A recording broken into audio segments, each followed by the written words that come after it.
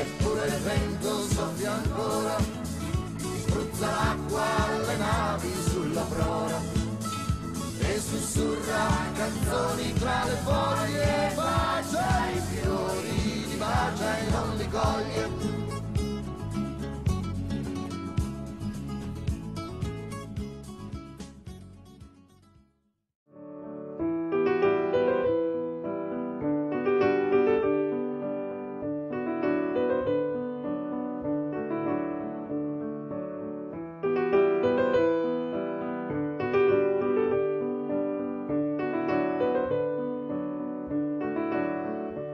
abbiamo sviluppato su tutto il territorio iniziative importanti per ricordare i 60 anni, ma naturalmente anche per focalizzare l'attenzione sui problemi e sui temi che più in questo momento ci sono diciamo nel nostro, nel nostro animo, i temi che ci stanno più a cuore. Così l'ANMIC sta celebrando i suoi 60 anni di attività, i suoi primi 60 anni di attività al fianco dei più deboli, di chi soffre o semplicemente di chi rivendica quei diritti che ancora devono diventare legge o che non vengono rispettati nemmeno se messi nero su bianco.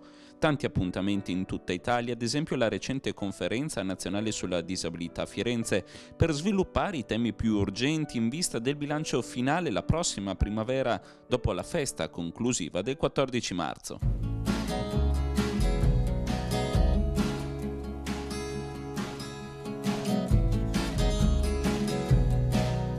Il lavoro è uno degli argomenti più caldi, non può che essere così visto che un'occupazione a maggior ragione per le persone disabili garantisce la sicurezza economica ma anche una più efficace inclusione sociale. Un piccolo passo dopo il lavoro e le pressioni costruttive di associazioni quali l'ANMIC è stato fatto col decreto correttivo al Jobs Act, sanzioni inasprite per le aziende che non assumono disabili secondo gli obblighi di legge. Questa è una buona notizia però in un quadro abbastanza precario rischio che ancora si presenta soprattutto per i disabili. Naturalmente noi vorremmo che fosse fatta una politica ancora più attenta, ancora più eh, fattiva nei confronti dell'inclusione lavorativa per eh, i disabili. In sostanza la multa sarà pari a 5 volte il contributo esonerativo consentito dalla legge quadro che così diventa meno conveniente per le imprese. Una buona notizia visto che l'inserimento lavorativo dei disabili presenta numeri costantemente alti. A Parma per esempio il SILD riesce a collocare ogni anno più di 400 persone ma sono oltre 4.000 quelle che restano in attesa. Per questo si chiede allo stesso tempo un incremento dei controlli antifurbetti del lavoro. Elevare soltanto il livello sanzionatorio ma non accompagnarlo anche con forme di controllo, questo poi significherebbe vanificare la legge che è stata posta. Naturalmente in, questa, in questo frangente siamo ancora più decisi a che si metta mano un po' ad una riforma della legge 68-99 per far sì che questa legge possa essere applicata e possa trovare finalmente la sua giusta applicazione possa dare i benefici che tanto si auspicavano nel, nell'anno in cui fu emanata la legge e che purtroppo nel corso degli anni è stata un po' depauperata, un po' depotenziata da eh, tante altre normative che sono intervenute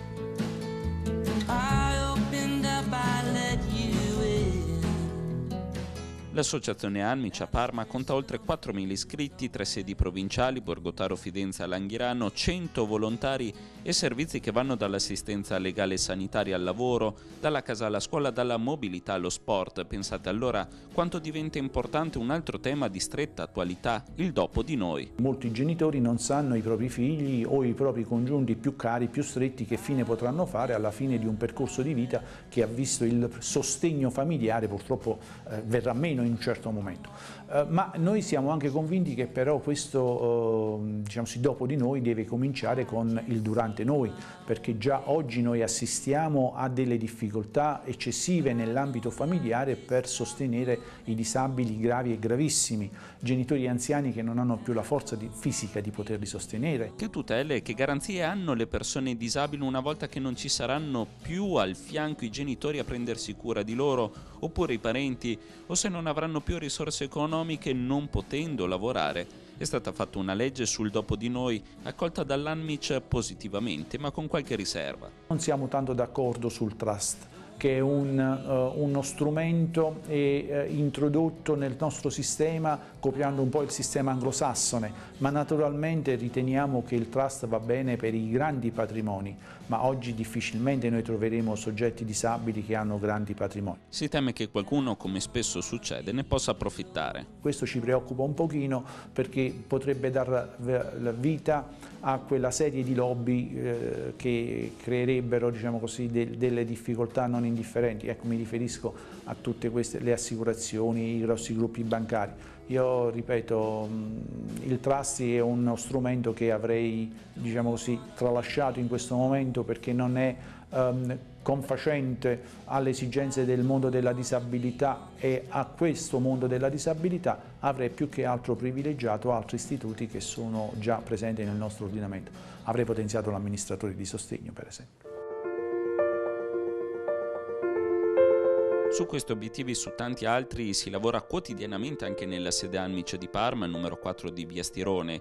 Le iniziative sono all'ordine del giorno e spaziano in più settori. Ad esempio è nato da poco il progetto biennale, non a caso chiamato Uniamo le forze tra l'Anmice e l'Intercral.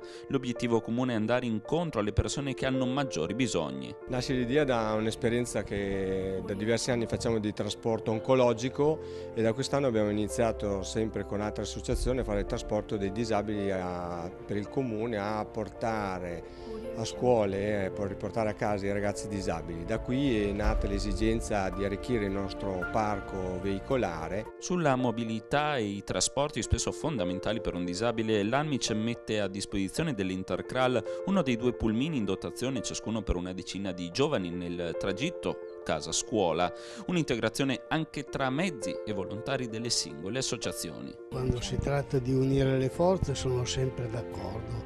Eh, uno da solo non riesce a fare niente, invece unendo le forze si riesce a fare tanto. Io sono d'accordo di metterci assieme per aiutare le persone disabili.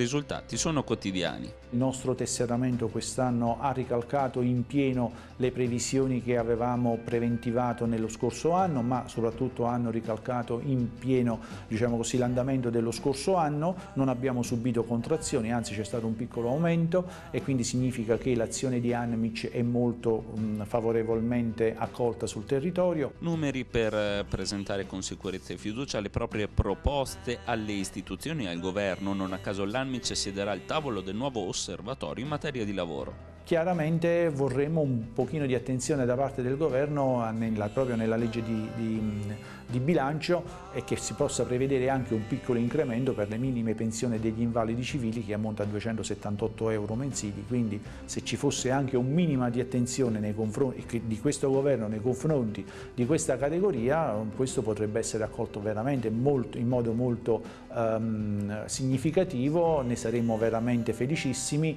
ma tante famiglie potrebbero alleviare seppur in misura molto molto minima, ma è un segno di attenzione che noi ci auguriamo che ci possa essere. Lo abbiamo proposto e lo riproporremo. L'Anmice, che fa parte della federazione FAND, è del resto l'associazione più grande per quanto riguarda la rappresentanza dei disabili e degli invalidi civili. Ci confrontiamo con le altre associazioni, avendo la presunzione di non essere, eh, diciamo così, l'associazione, eh, sicuramente di essere l'associazione rappresentativa più estesa territorialmente, avere una rappresentanza che ci deriva dalla legge, eh, avere la rappresentatività perché i nostri iscritti e quindi parte dei cittadini italiani hanno voluto eh, chiaramente dare fiducia alla ANMIC, naturalmente siamo impegnati per il prossimo anno nel rinnovo del tesseramento e quindi auspichiamo che i cittadini che ci hanno sempre dato fiducia ce la continuino a dare e che ci siano altri cittadini che possano trovare nella nostra associazione un punto di riferimento.